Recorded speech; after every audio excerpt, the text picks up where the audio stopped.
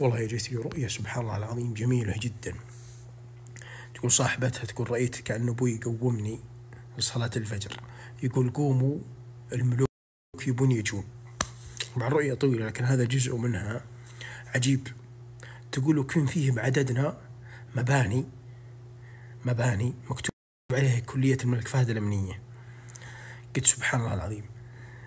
تأويل الله سبحانه وتعالى يقول الذين آمنوا ولم يلبسوا إيمانهم بظلم أولئك لهم الأمن وهم مهتدون. كذلك تقويمتكم لصلاة الفجر فعلا على ظاهرها. وفي الحديث عن النبي عليه الصلاة والسلام احرصوا على صلاة الفجر يعني يقول عليه الصلاة والسلام يتعاقبون فيكم ملائكة الليل وملائكة النهار.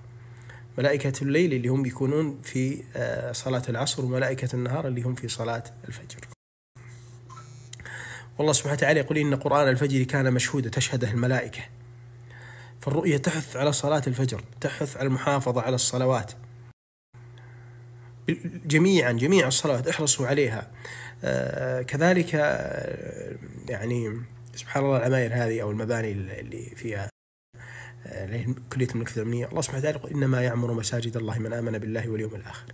ففيها الحث على المحافظة على الصلوات المحافظة على الطاعات تشهد ذلك الملائكة ثم تعيش في الدنيا وفي الآخرة بأمن وإيمان.